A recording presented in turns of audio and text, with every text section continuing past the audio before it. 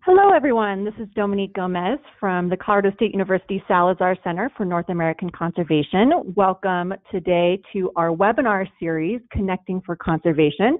Today we're going to talk about Indigenous leadership on climate change, and we're so excited to have all of you join us and our two wonderful panelists to present and lead the discussion today. First, I want to just talk a little bit through our agenda. Uh, want to welcome you, and I'll talk a little bit about the Salazar Center. Uh, then we'll have a little housekeeping. Then we're going to hear from our two panelists, and then we'll have plenty of time for a moderated discussion.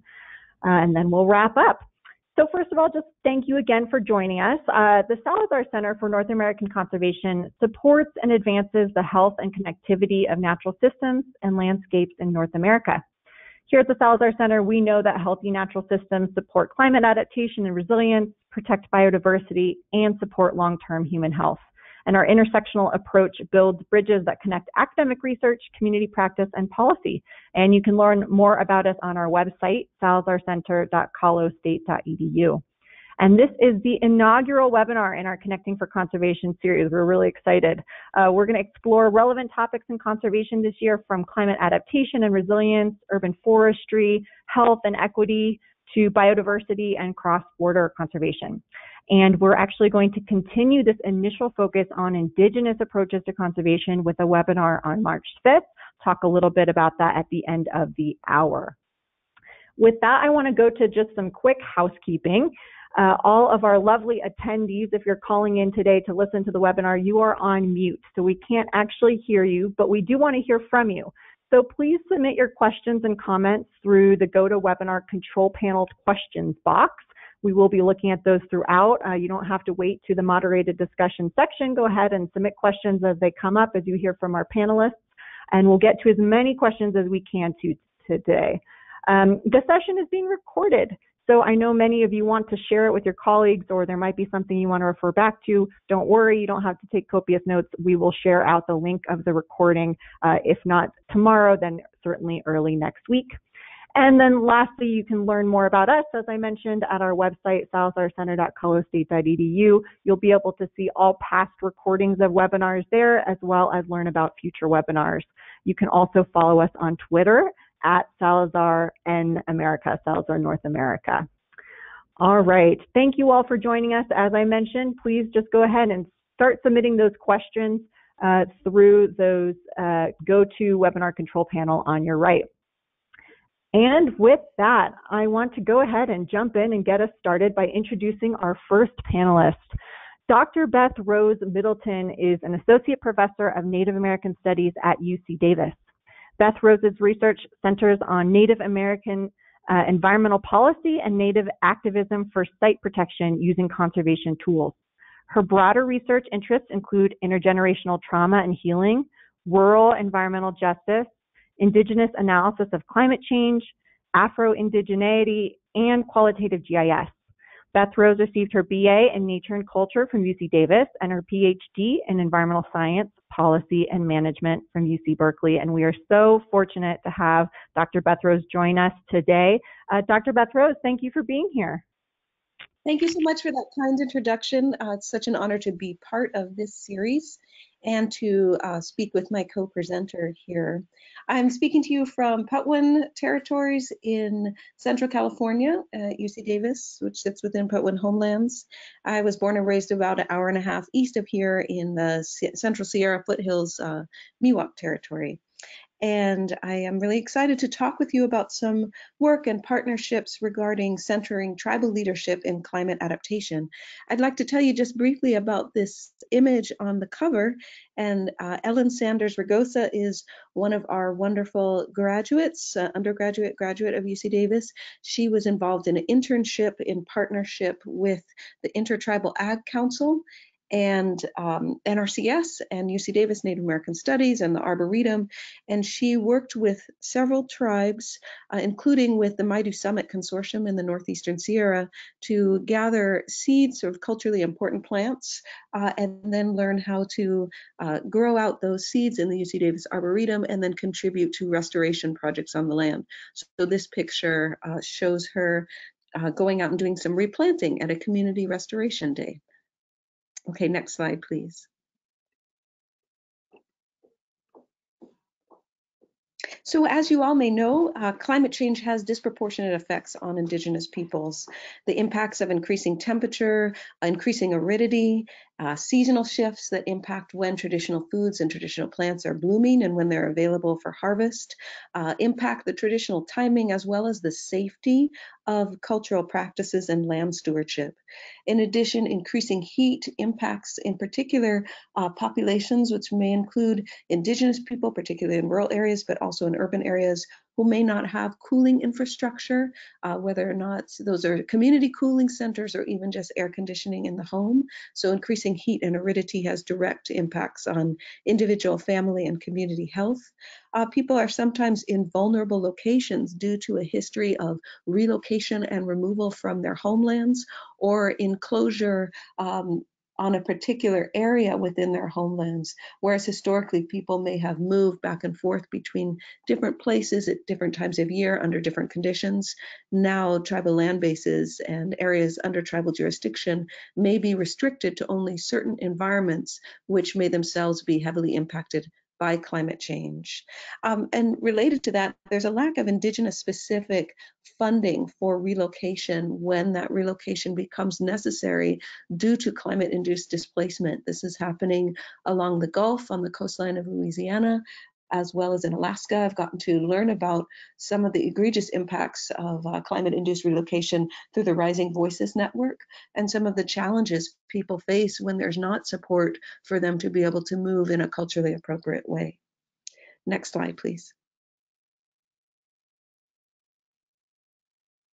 So part of my focus and uh, with a lot of joy and collaboration is reframing climate change from indigenous perspectives that really uh, respect the long view of place-based stewardship the fact that people have been watching these changes over a long period of time and also follow specific ethics of responsibility and relationality and reciprocity which i know our, our next speaker will be talking about as well and have very practical relationships as well to local environments. If you take care of the land it takes care of you is something i've heard uh, from elders in many different places.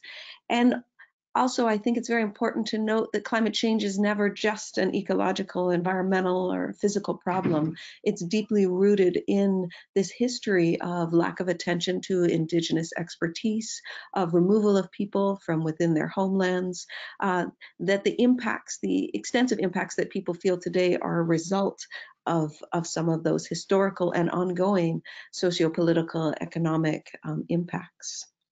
And I, I, also want to say that Indigenous knowledge, because people might say, well, you know, Indigenous knowledge is changing and adapting with climatic change. Uh, so there are challenges to traditional knowledge around timing of, of gathering and stewardship, but the greater challenges come from a century of oppressive policies, including policies uh, you know, attempting to stop traditional burning and other landscape stewardship. Indigenous epistemologies of climatic change, I think, are important as a, a guiding framework.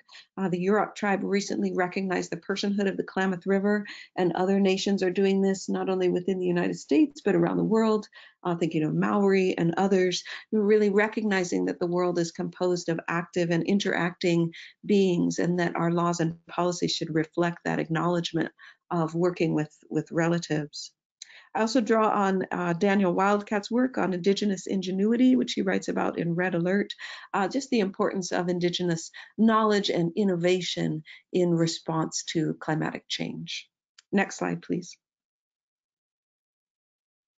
This is a map from the uh, National Climate Assessment 4, which I participated in the Southwest chapter. Um, I think Julie Maldonado and others were involved in putting together this map, which underscores resilience actions by Indigenous people all around uh, the US and territories, just underscoring, again, Indigenous leadership in dealing with climate change. Next slide, please. So I'll talk briefly about a few key projects I've been involved with.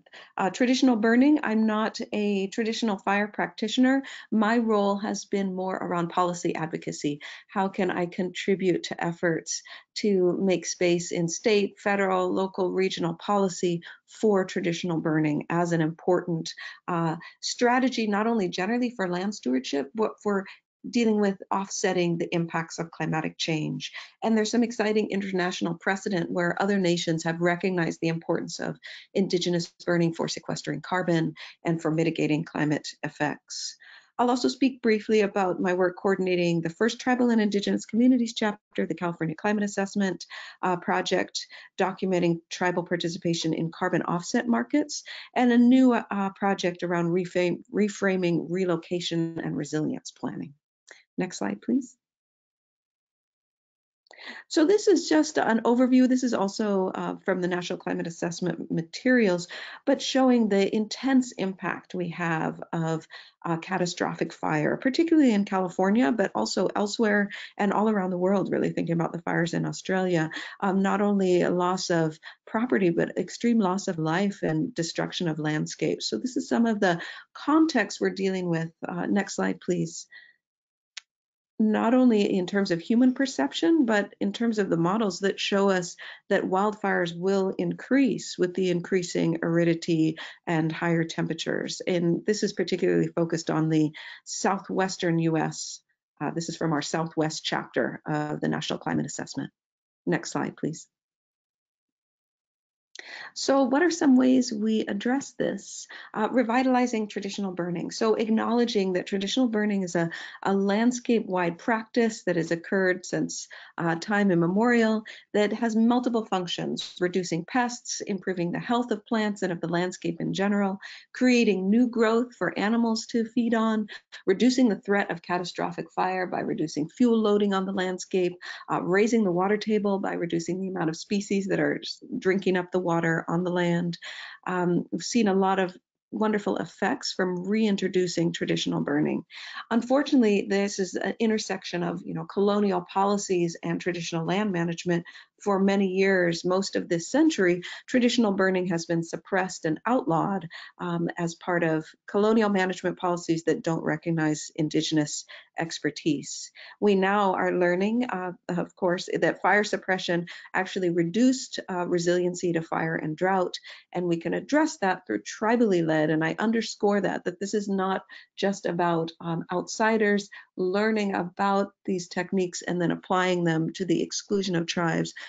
but tribally led restoration projects that incorporate or are guided by traditional burning. And there's some exciting collaborations happening. This picture uh, shows Fork Mono tribal elder Ron Goode, who's a very important fire educator leading a group of our students in a burn to reinvigorate the health of these basketry plants, particularly sourberry and redbud.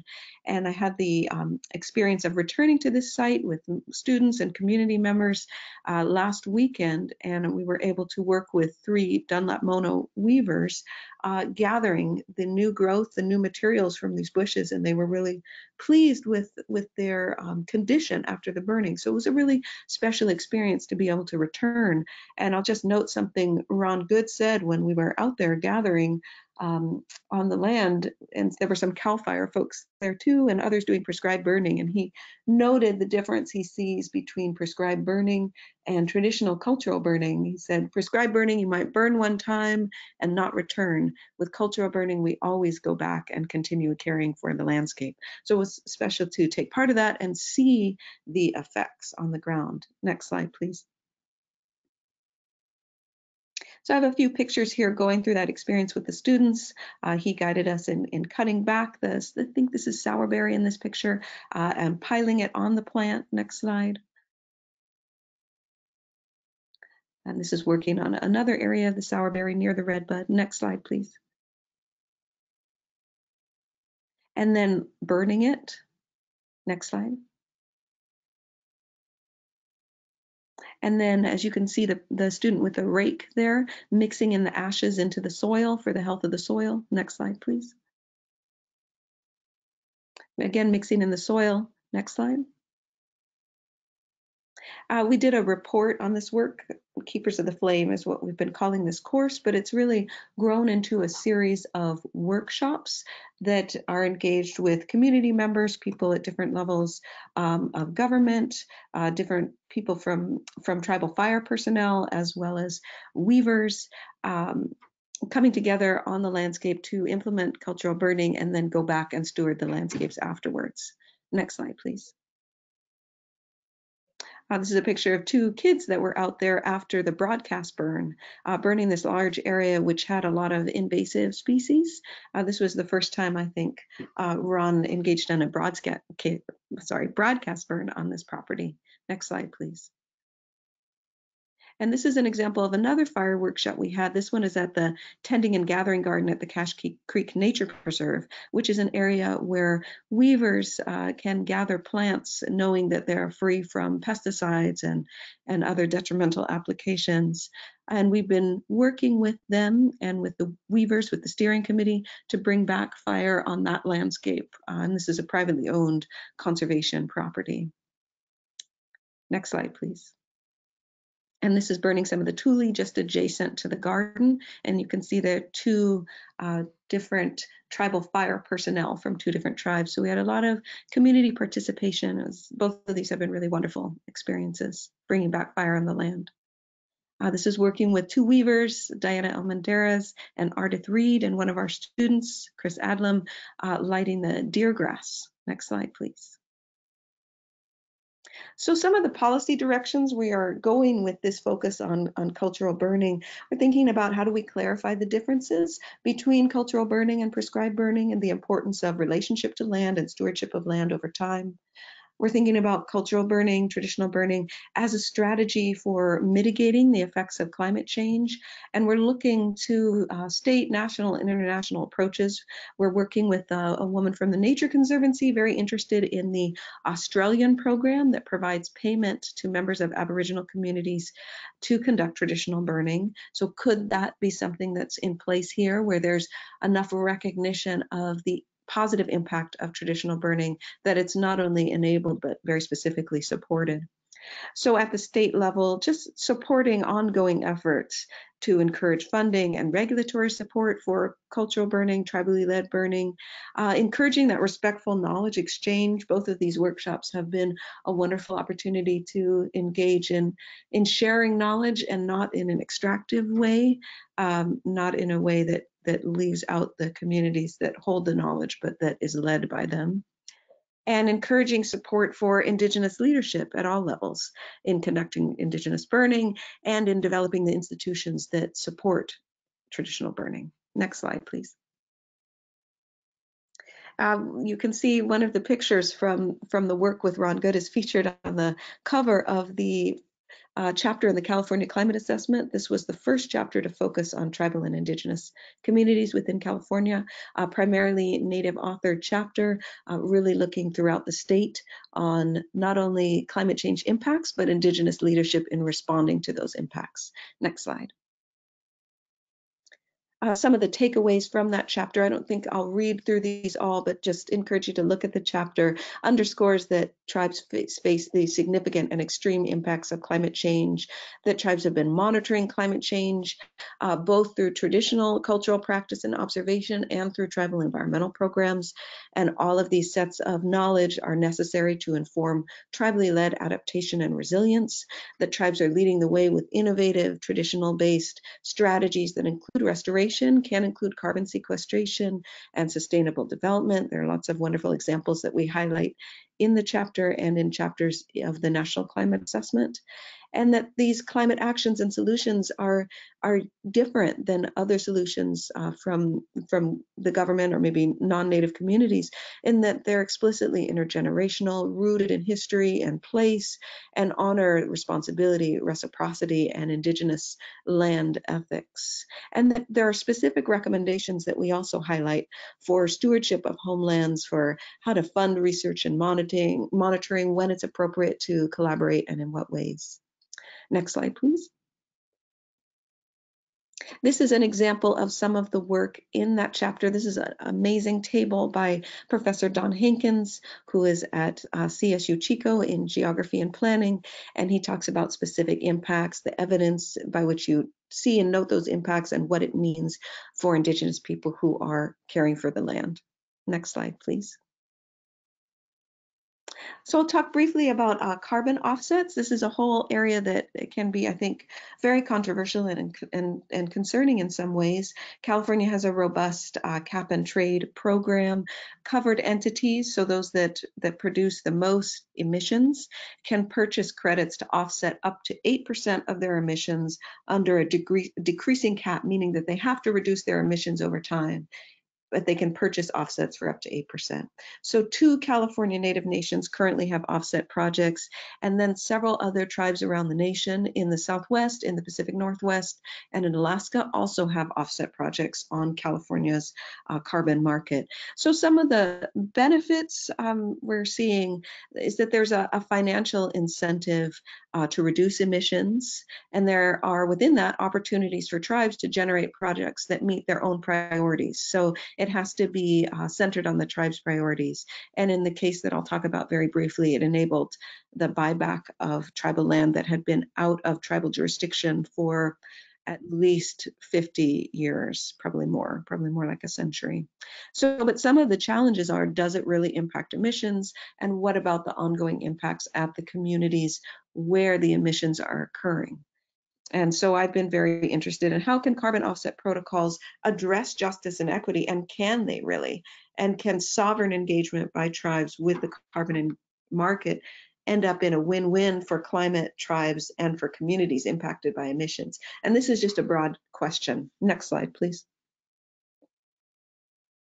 So I worked with um, a graduate student who is now a professor, Dr. Kaitlin Reed at Humboldt State University, to write an article over a period of years about the Yurok tribe's carbon projects. It's just out in the Stanford Environmental Law Journal. And, you know, we looked at the Yurok tribe's complex process of uh, developing these carbon offset projects, which enabled the purchase of over 50,000 acres of their homeland back. And it fit within their priorities of how they wanted to steward the forest and uh, enable them to get the land back from a large timber landowner. So overall, definitely a positive um, for the tribe but we are also thinking about what are you know the broader opportunities as well as concerns and challenges associated with tribal engagement in the carbon market. Next slide, please. So uh, just to, to move forward, I don't want to take too much time, so there's plenty of time for our other presenter. I'm also engaged in educational activities regarding Indigenous climate leadership.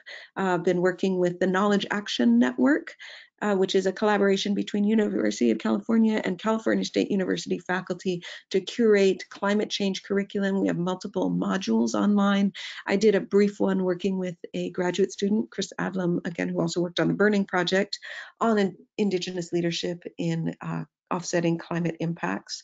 Also getting ready to teach a course with the um, my friend Darcy Houck, who's currently Chief Counsel for the California Energy Commission, uh, featuring Indigenous community leaders in climate adaptation, looking particularly at energy infrastructure, examples of tribes developing microgrids and developing um, facilities that, that take less energy, conservation issues, getting lands back, um, and hands-on restoration work and water quality and quantity work. So, and just broadly engaging with Native Land Trusts, a group of Native Land Trusts that includes five Native Land Trusts in California, four in California and one in Alaska, uh, that are really, I think, on the front lines of climate adaptation and stewardship on their lands. And those include the Amah Mutsun Land Trust, the Native American Land Conservancy, the Kumeyaay Diegueño Land Conservancy, the Maidu Summit Conservancy, and the Native Conservancy in Alaska. And all of them are leaders in climate adaptation and mitigation in their own homelands and areas. Next slide. And that whole focus on, on native land trust, but also on just uh, collaborating with tribes around not only getting lands back and getting jurisdiction back over lands, but removing harmful infrastructure that may be off of tribal lands.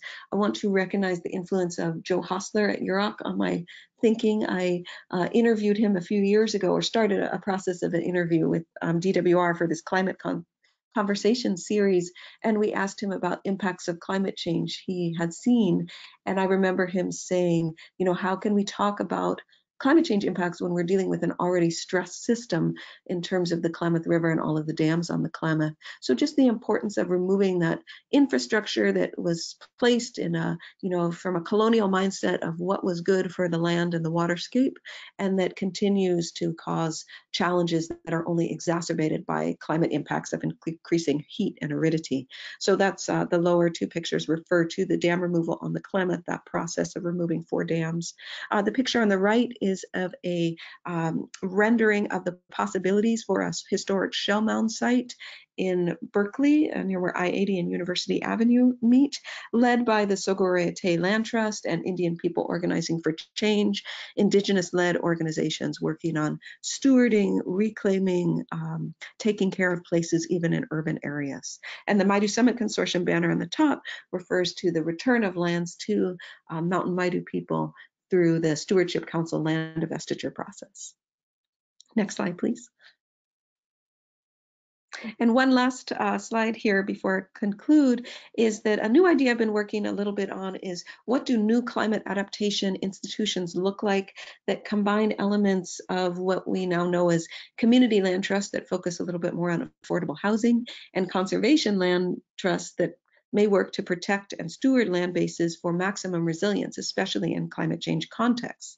So how could these institutions work to set aside land in both public and private jurisdictions? Could they be sites to showcase best practices in stewardship, including cultural burning? And can they be indigenous led, but also in a way that creates space for other communities that face environmental injustices and are being displaced by climate change?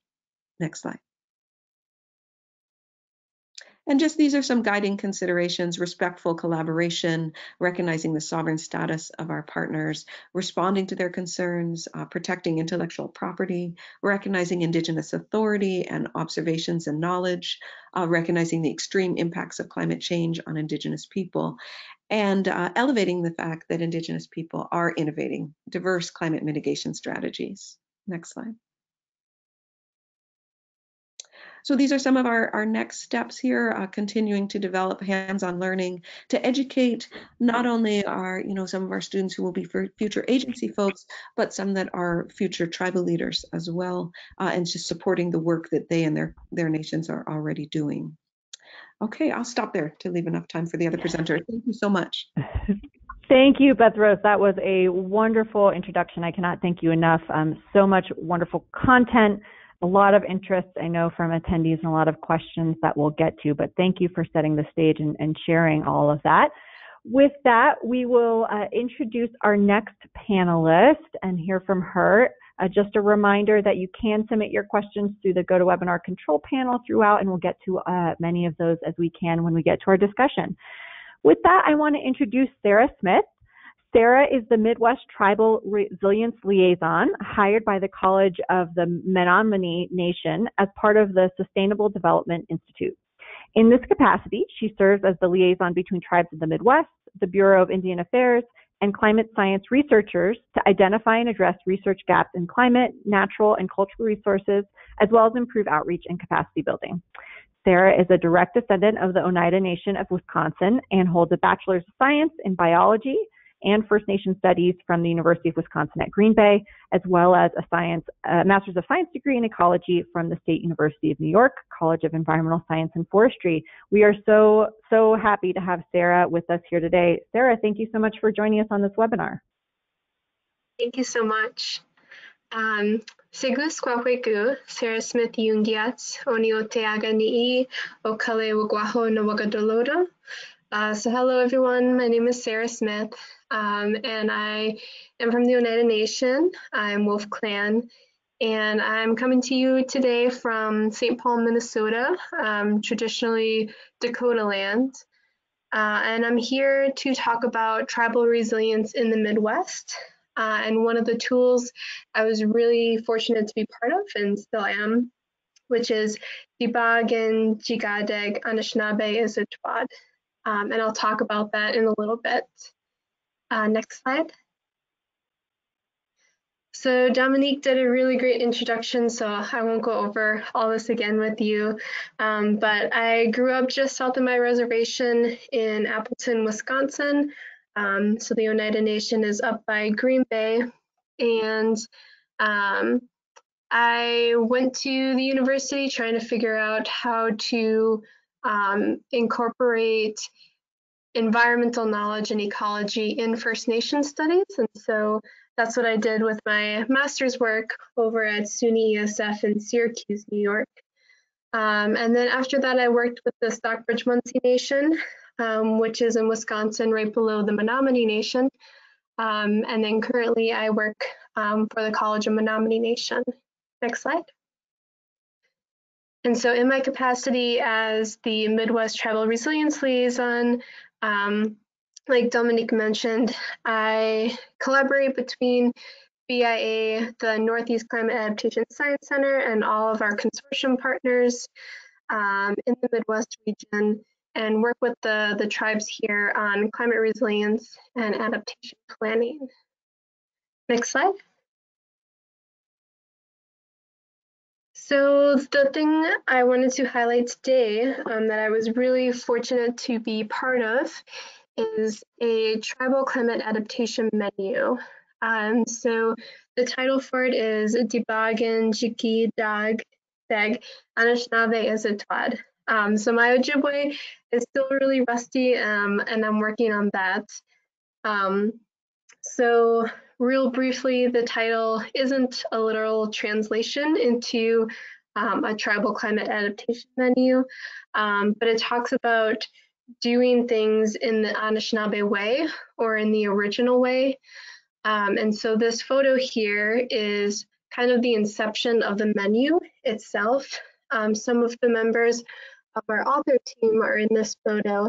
And what's going on here is that um, some of our member team went to a NIACS workshop, which is the Northern Institute of Applied Climate Science, and they were having a workshop on forested watersheds um, in response to climate change.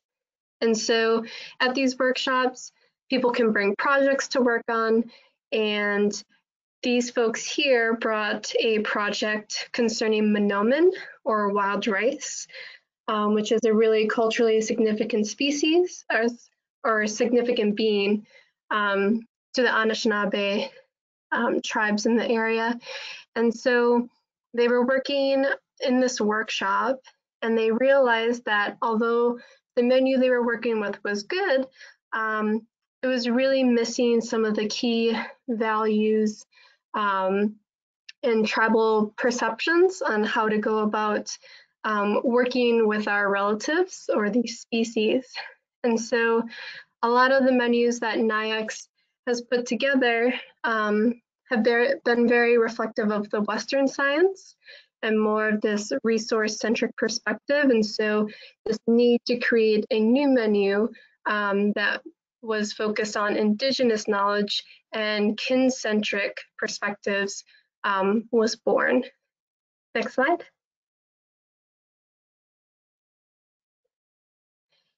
And so the um, it's primarily developed for the use in indigenous communities um, with tribal naturals, natural resource staff, um, but also with non-indigenous partners too. So this menu helps to bridge communication barriers uh, for non-tribal persons or organizations that are interested in indigenous approaches and working with tribal communities. Um, and the menu itself is designed to be used across diverse ecosystems and scales and also different management values. And so um, that's that's kind of the, the real brief overview of what this menu is like.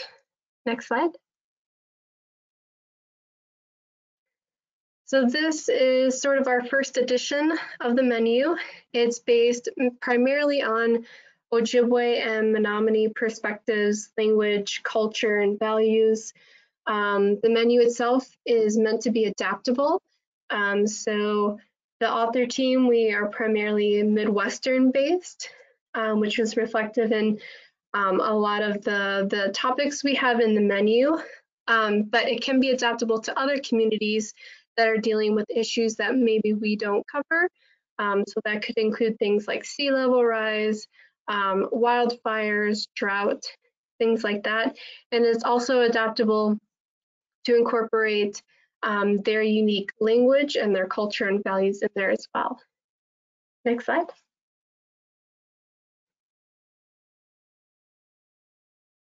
Um, so something really unique about this menu is um, there are these guiding principles at the beginning and um, we felt that this was really important to have in the menu, especially for those non-tribal partners working with tribal communities. Next slide. And so these guiding principles, um, and my fellow panelists actually um, talked a lot about this at the end of her presentation too. Um, so these principles help provide a framework to integrate indigenous and traditional knowledge, um, culture and language into adaptation planning. Um, so that includes TEK, um, talking with our elders, things like that. it really focuses on community engagement and this um, somewhat decolonization of scientific research and methods and application um, and indigenizing that, um, especially not just on our community or tribal lands, um, but on our co-management areas as well um, in our ceded territories. Um, in the Midwest itself, we have lots of ceded territory area, and there are many um, tribal organizations that help manage those areas. And those were a lot of the big partners we had in this work. And so just like the menu itself, these guiding principles can also be adapted. Um, so something that may be of importance to one tribe um, might not be for another. Um, so these can be adapted for the tribal communities themselves. Next slide. Um, so real briefly, some of the things that the guiding principles talk about um, are the importance of human and non-human relationships. So really going back to this kin-centric focus on species as our relatives and as beings um, and not a resource. Um, it also highlights cultural paradigms, um, like I said, emphasizing community engagement and decision making making sure the community is at the table if um, there's a non-tribal partner or organization that wants to work with them, making sure they're there on day one um, before anything gets done. So they're in the decision making from the start. Um, and then really making sure you end a project in a good way um, and figuring out how that knowledge and that information will be um, kept and disseminated so that might mean um, figuring out who keeps um, the data, what knowledge can be shared, um, when might that knowledge be shared due to sensitive timing, um, things like that. So this is kind of what the guiding principles go over in this document. Next slide.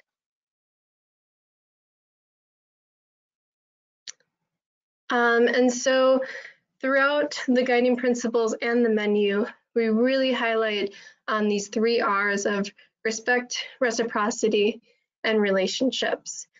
So decisions for relatives were originally communal decisions and made with recognition and respect. And that's what we're really trying to get at with this menu is going back to those ways. Um, because a lot of decision making um, today for the land is made more from a manager perspective um, on an individual and institutionalized level. Um, so really getting back to those communal ways on how we go about with our relatives. Next slide.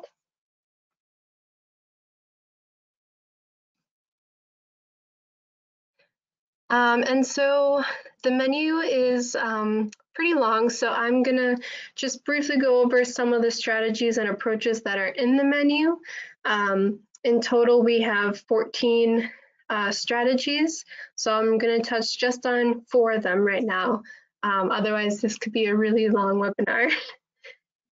and so the first one, strategies one to three, um, really emphasize this, the cultural practices, tribal engagement, um, and respect towards our, our relatives. Um, so things like um, consulting cultural leaders, elders, um, being mindful um, of practices of reciprocity. It could, some adaptation actions could be revitalizing language programs. It could be um, youth programs, wild rice camps, um, things like that. And then strategy two um, is actually the last strategy we included in this menu. Um, and it took us a while to think about this. Um, and it's learning through careful observation, um, careful and respectful observation. So for example, if a tornado were to go through an area, perhaps instead of quickly responding on we need to fix it, we need to revegetate, um, taking a step back to see what the natural community does um, and learning from them. So it's more of this doing nothing is doing something. Next slide. And then the last one I wanted to point out um, is strategy five, um, specifically 5.2, but also 5.1. Um, so 5.1 is talking about maintaining or improving the abilities of um, communities to balance the effects of little spirits. So little spirits refer to things such as insects, um, which doesn't really get touched on in a lot of um, adaptation planning. Um, so we thought this was really important to have in there. Um, but then also 5.2 um, for maintaining or improving the abilities of communities to balance the effects of non-local beings. Um, so this is one that gets pulled out a lot from the menu. Um, so non-local beings is talking about invasive species. Um, so we actually, in our planning, we sat down for an entire day talking about invasive species um, because a lot of the time when we think about invasive species, we kind of have this negative connotation towards them. Um, and we wanted to change that perspective. Um, these beings are, um, they're doing what they were originally instructed to do when they were made and put on this earth. And they're just in a new place. And they're just doing what they were told and they don't have those same checks and balances. Um, so seeing them in that way and trying to understand maybe how the communities where they came from utilize these species um, and thinking about them more um, in a respectful way.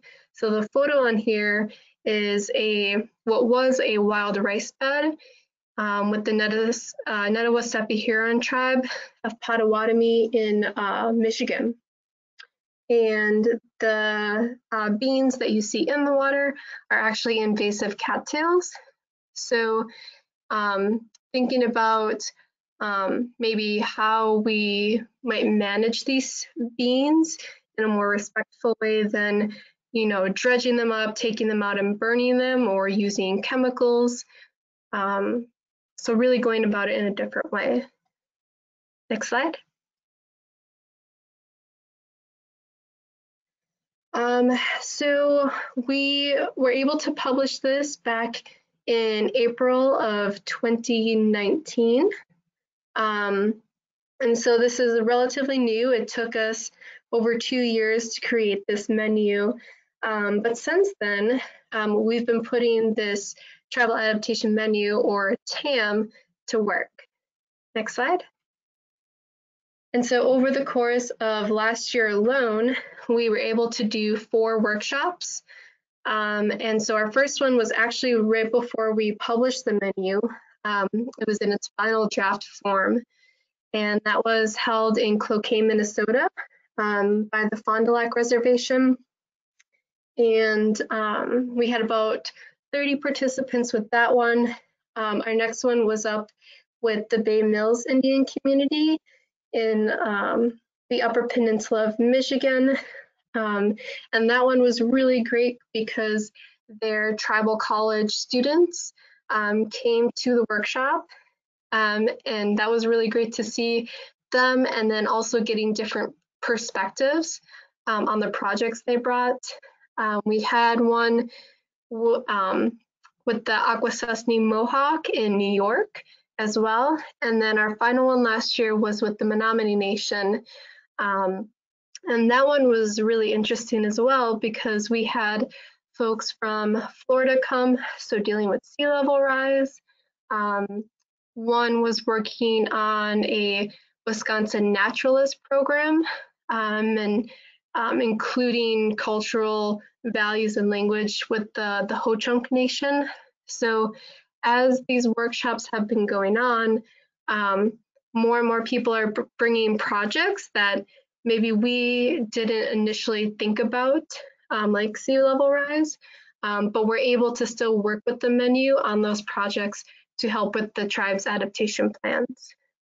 Next slide. And so um, what's next for us um, with the, the tribal adaptation menu is we have a workshop coming up in a few weeks um, with the Red Cliff Band. And that uh, workshop is actually filled at capacity.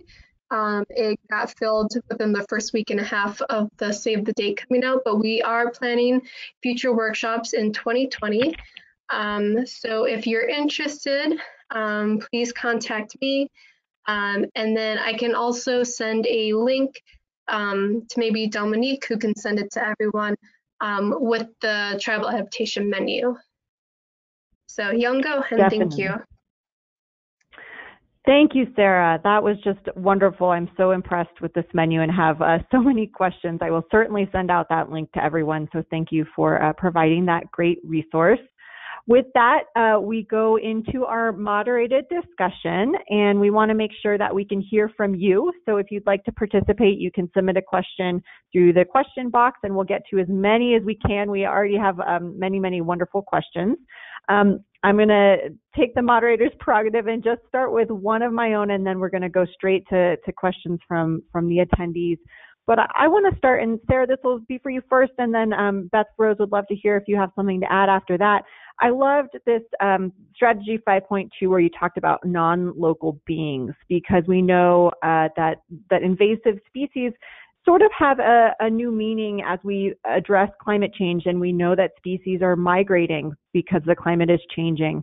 Um, so I love that idea that that there's some respect and kind of consideration of of the species themselves. Can you maybe give an example uh, from your work on that strategy strategy specifically and how you've seen it implemented? Um, and then after Sara, maybe Beth Rose, if, if you have anything to add, would love to hear from you on this as well.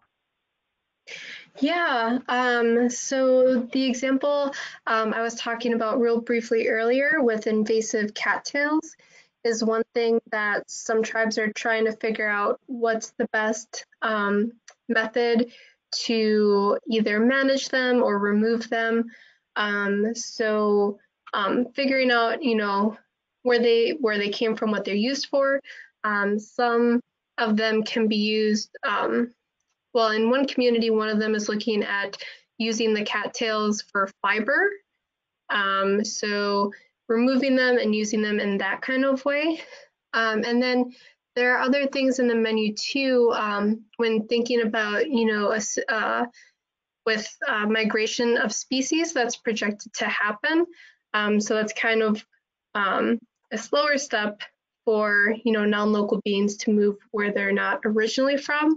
Um, and really speaking with um, communities where they came from, how they're used, um, and that kind of stuff. So, yeah, uh, I think this different perspective uh, is really, um, really interesting. And when we've talked with, um, you know, non-tribal partners such as Forest Service and DNR, it really gets them thinking about maybe different ways they can they can go about um, managing invasive species in their areas. Mm -hmm. I really like that approach too. I mean, I might only say that one of the challenges we see is out competition of of native species and so it's it's not necessarily about full annihilation of the non-native species but just reducing their prevalence so that the native species can still thrive.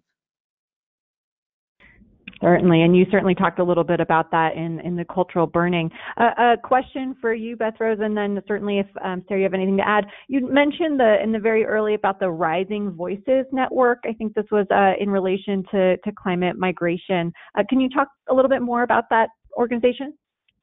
Sure. I mean, it's a wonderful organization. It's um, I haven't been for a couple of years, but it's composed of participants that come from tribal colleges and universities, uh, from from academia, from communities, from agencies, from tribes, really discussing the impacts of climate change and then making policy recommendations and being active on the policy level. It's a very uh, powerful and empowering group of people. Wonderful. Yeah. Thank you for that. That was a. Go ahead, Sara. Oh yeah, I would um, definitely agree with um, Beth Rose as well. Um, and I just wanted to mention that they have an upcoming conference um, at the end of April that'll be over in Washington. Um, if people are interested in attending it. Wonderful. Um, Maybe we can send send out some information about that conference as well. Good. Um, another question from someone here. Um, they're asking if uh, the HEMES principles contribute at all to the strategies in the menu. Is that something that, that you're familiar with, Sara? Um, I am not, but I'd be really interested okay. to know more about that. Okay, Beth Rose, are you familiar? Otherwise, we might we might not have any good answer to this one. That might be okay. No, sorry. Okay, that's okay. Um, good. Uh, another question from the audience. Um, so this was a little bit about the, you know, you talked to Beth Rose about cultural uh, burning versus more prescribed burning, and I love that idea that um, I think this was something that was was told to you that prescribed burning they don't come back. I and I'm wondering, and maybe this is something you're researching. Do you have any um, evidence or, or studies that that look at kind of the the difference in terms of the effect on the land of prescribed versus the more traditional burning?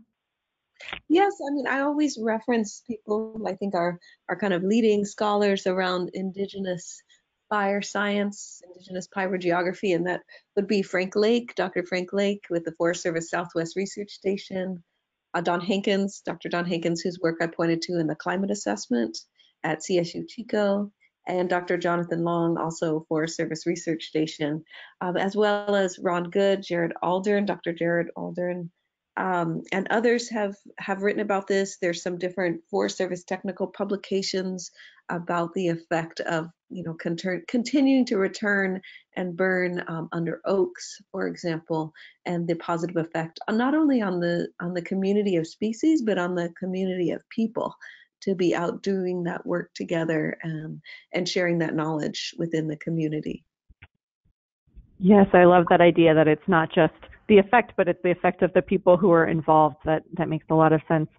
Uh, Sara, a, a, question for you. Um, you talked a little bit about your strategy too, which I loved, learning through careful and respectful observation. Um, and you you know gave this this uh, example of the tornado that may be waiting to see how natural systems recover before acting. Can can you talk a little bit more about that? We have a, a question of you know how that might be applied in, in different contexts. Yeah, um, so the tornado examples is one that gets touched on a lot, um, but it could be things um, also like flooding. So in the Midwest, we have a lot of flooding issues with uh, extreme weather events that have been happening more and more often. Um, so in those situations, there's one tribe in particular um, that has been noticing um, certain areas getting flooded constantly over and over again. Um, so they are actually in the works of re-meandering the river to what it used to be um, because it was channelized. And so with these events, they kind of did the stepping back to watch what happened, and it was this continuous flooding. So their approach is to re-meander the river and reestablish its original floodplain. Um, so things like that don't uh, keep happening, especially with um, the increase in extreme weather events we've been having here. That's a great example. I wonder, Beth, does this idea, uh, Beth Rose, the idea of respectful observation before action, is that something that you come across in, in your research and work at all? Yes, I think it's very resonant with just the respectful approach to watching how the land and other species react and not sort of having embracing the hubris that humans know best, uh, but kind of a listening approach. Yes, I love that as well. Good. Um, a, a, question for for you, Beth Rose. Um, you talked a little bit about the policy advocacy work that you do um, and some of the barriers that you've seen to the cultural burning. Um, are there other uh, cultural, uh, culturally traditional stewardship practices um, and adaptation strategies for climate change that you see having policy barriers uh, that you might work on? Mm, definitely. I mean, I've I've worked a lot with land trusts, and so kind of looking at the tools that are available to conservation entities, but then how could they be used by tribes or by native nonprofits? And it's it's not necessarily a tool that works for every everyone, but it, it can be useful just for bringing land back into tribal jurisdiction so that a host of different relationships to the land can be enacted. All different types of stewardship, uh, in, including ceremony, including uh, bringing back fire, including maybe uh, different ways of working with water. Um, so I feel like my role has been to work on developing some of these tools that people might be use people might use to then exercise the type of, of stewardship they would like to and to be able to protect their their places. That's wonderful.